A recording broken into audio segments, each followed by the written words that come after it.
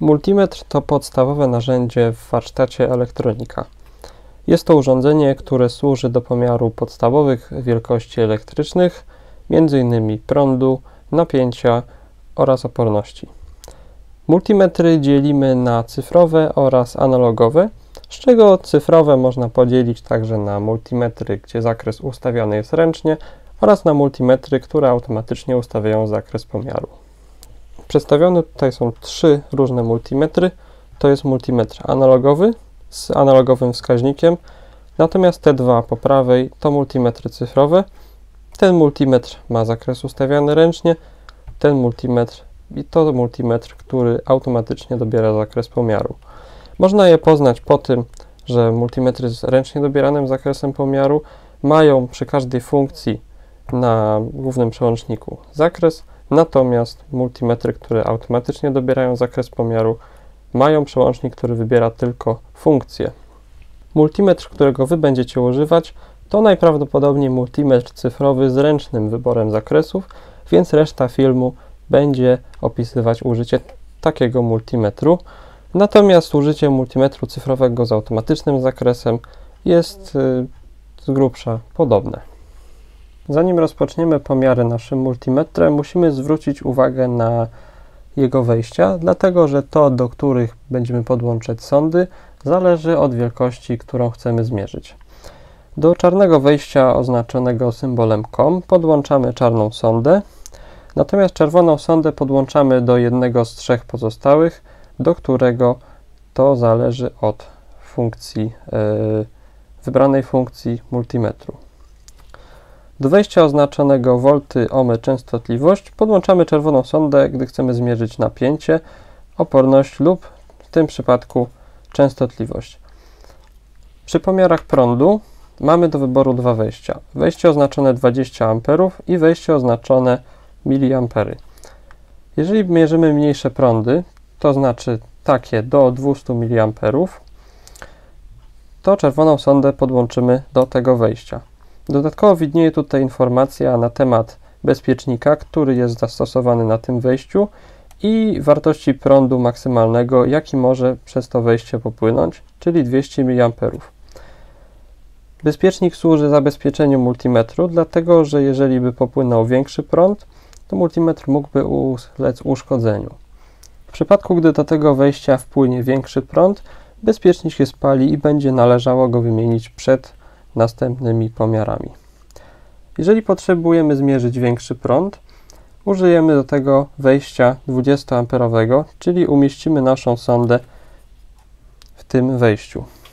W przypadku używania tego wejścia należy zwrócić uwagę na informacje umieszczone przy nim, czyli unfused, która oznacza brak bezpiecznika, oraz informację dotyczącą czasu i częstości pomiarów, czyli maksymalnie 10 sekund co 15 minut, co oznacza, że mierząc większe prądy powinniśmy y, robić przerwy, aby zezwolić y, elementom miernika na ochłodzenie się.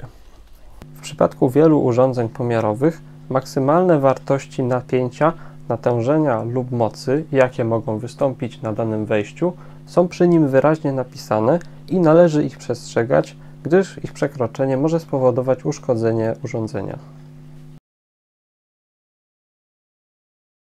Mierząc napięcie za pomocą multimetru, czarną sondę przykładam do punktu, w którym oczekuję niższego napięcia, natomiast czerwoną do punktu, w którym oczekuję wyższego napięcia.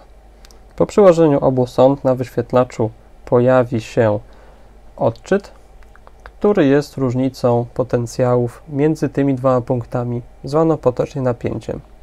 W większości układów elektronicznych istnieje z góry ustalony punkt odniesienia zwany masą, więc jeżeli mówimy, że w jakimś punkcie napięcie wynosi 9 V, to oznacza, że napięcie między tym punktem a masą wynosi 9 V. W tym przypadku mogę odczytać, że na pinie oznaczonym 3,3 V występuje napięcie 3,26 V. Należy zwrócić uwagę, że jeżeli nie będziemy dotykać danego punktu pewnie, otrzymujemy wartość, która nie jest, nie jest ustalona. Ta wartość będzie pływać, Należy dotknąć tego punktu dosyć pewnie, nie za mocno, żeby nie uszkodzić y, płytki albo żeby nie wygiąć sondy, natomiast odpowiednio mocno, aby został tam utrzymany stały i dobry kontakt. Przejdźmy teraz do pomiaru prądu.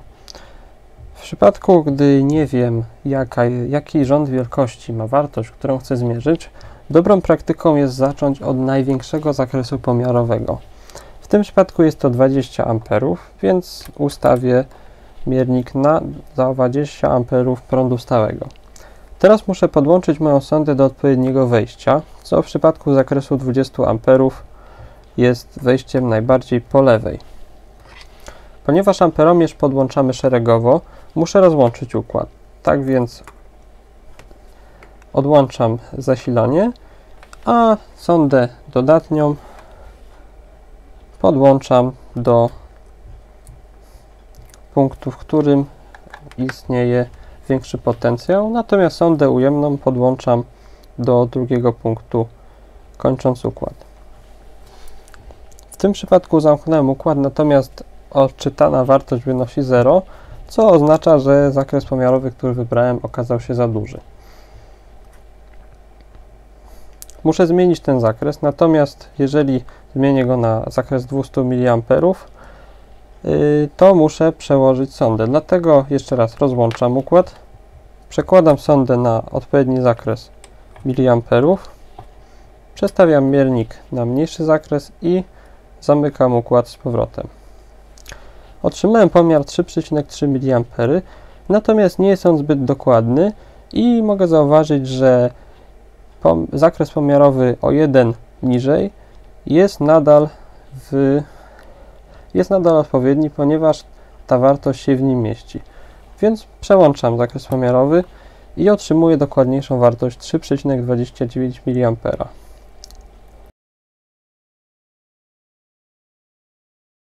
Aby dokonać pomiaru oporu elektrycznego, muszę ustawić miernik na zakres ohmów, a czerwoną sondę umieścić w odpowiednim wejściu, która w przypadku tego miernika jest wejściem najbardziej po prawej.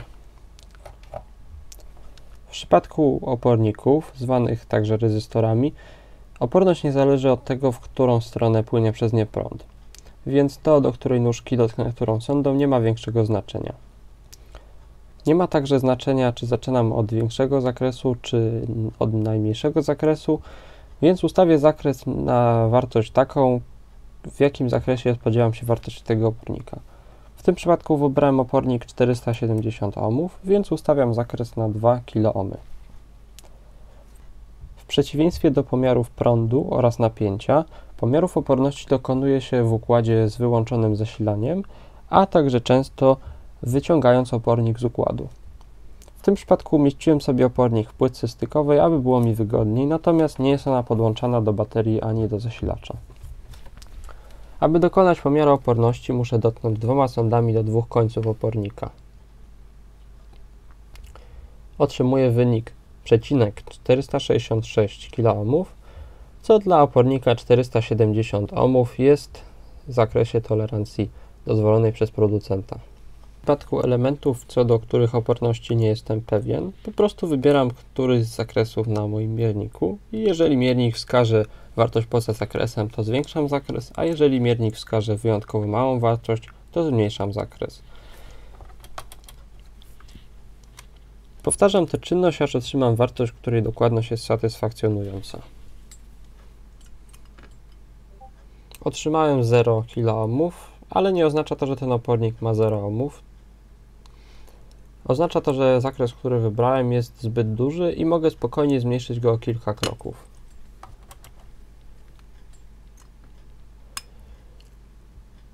Tutaj otrzymałem wartość 0,039 kΩ, ale ta wartość jest na tyle mała, że zmieści się także w zakresie o 1 niżej.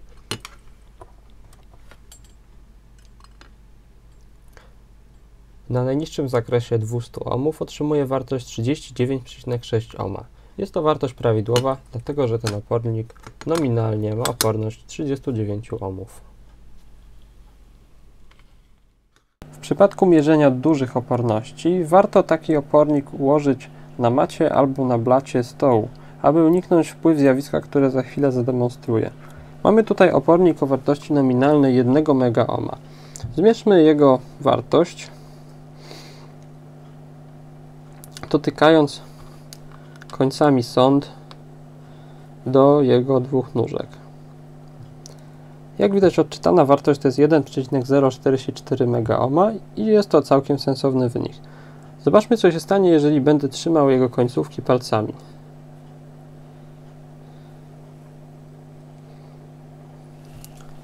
Otrzymałem wartość 0,26 MΩ, czyli wartość, która jest dużo niższa niż rzeczywista wartość.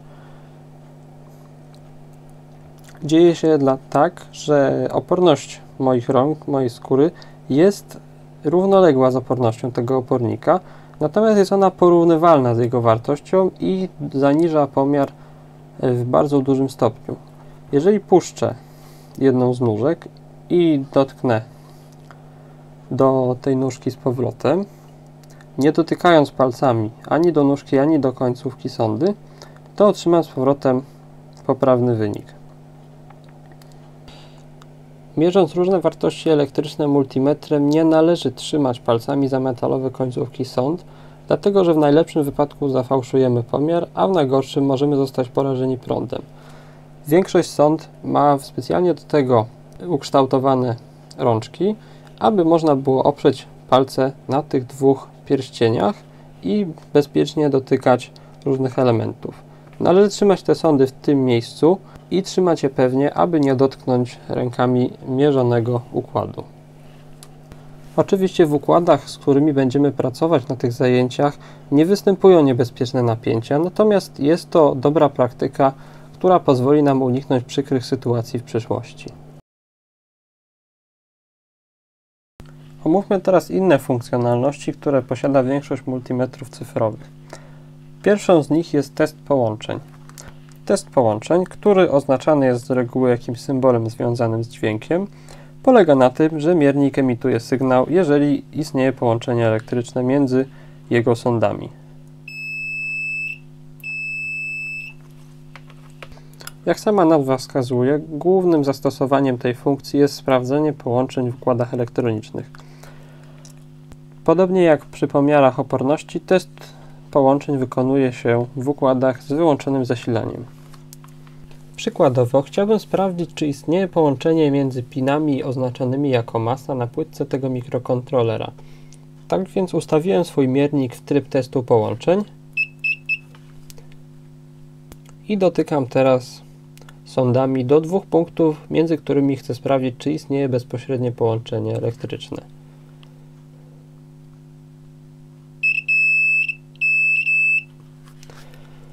Jak widać między tymi dwoma punktami istnieje połączenie, dlatego że są one podłączone do wspólnego potencjału na tej płytce.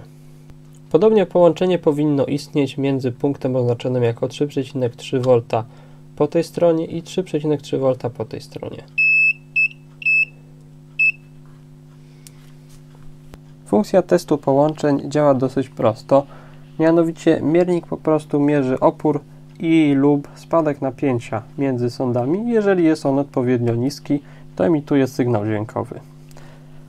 Napięcie, które jest używane do testowania, jest na tyle małe, aby nie spolaryzowało żadnych półprzewodników, co spowoduje, że wszystkie diody oraz inne tego typu elementy nie będą przewodzić.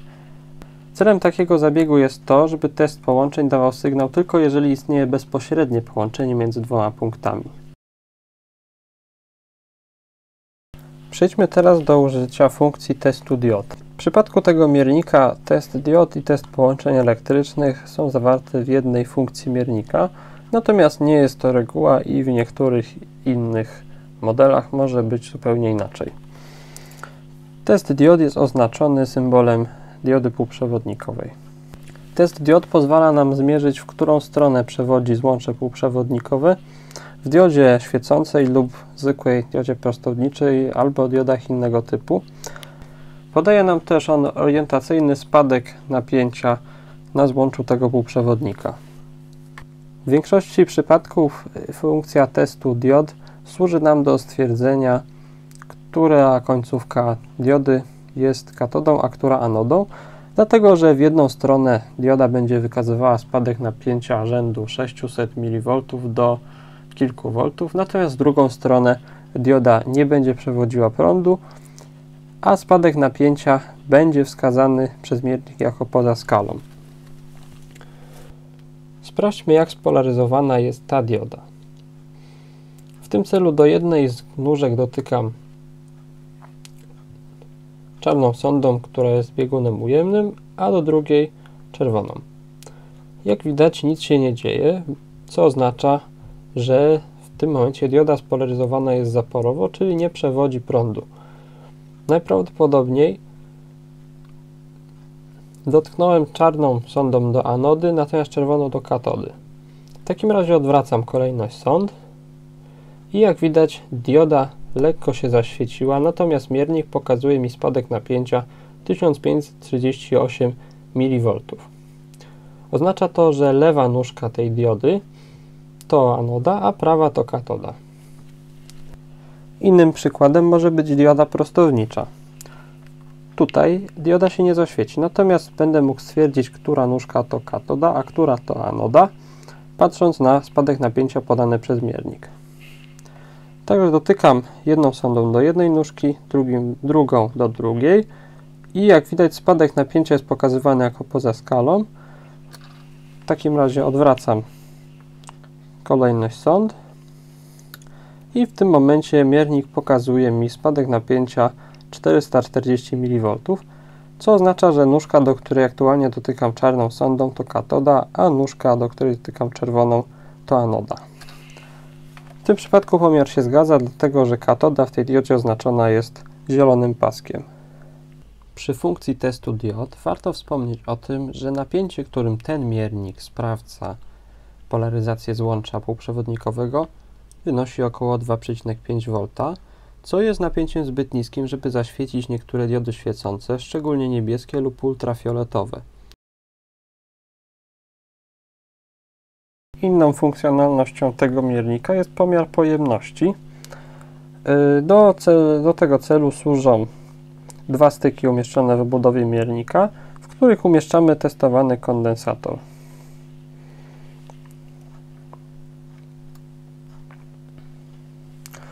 Jak widać przy wkładaniu kondensatora zmieniła się nieco wartość, natomiast 0 oznacza tutaj, że wybrany zakres pomiarowy jest zbyt duży.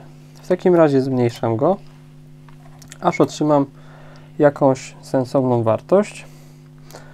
Widzę tutaj, że wartość pływa, więc poprawię trochę połączenie tego kondensatora i poczekam aż odczyt się ustabilizuje. Widzę, że odczyt dość długo oscyluje wokół pewnej wartości, natomiast mogę na oko ocenić, że jest to około 20 do 30 nanofaradów, co by się zgadzało, dlatego że kondensator, który włożyłem, ma nominalną pojemność 22 nanofaradów. Kolejną funkcją tego miernika, którą omówię, jest pomiar współczynnika wzmocnienia tranzystora zwanego HFE. Jest to symbol, którym oznacza się e, tą wartość w dokumentacji. Aby dokonać pomiaru HFE, muszę znać kolejność wyprowadzeń tranzystora, który testuję. W moim przypadku jest to tranzystor 2N222A i jest to tranzystor NPN, a kolejność jego wyprowadzeń to od lewej emitter, baza, kolektor. W związku z tym wkładam go do odpowiedniej połowy portu umieszczonego na mierniku odpowiednią nóżką do odpowiedniego, yy, do odpowiedniego otworu, czyli emitter do emitera, bazę do bazy i kolektor do kolektora. Po umieszczeniu tranzystora w mierniku na ekranie pokazuje mi się wartość współczynnika wzmocnienia tego tranzystora. Nie jest to dobry wyznacznik rzeczywistego współczynnika wzmocnienia tego tranzystora, dlatego że wartość HFE zależy od bardzo wielu czynników, m.in. od prądu płynącego przez tranzystor, ale także od temperatury, więc jak widać wystarczy, że ogrzeję ten tranzystor palcami, a wartość HFE już powoli się zmienia.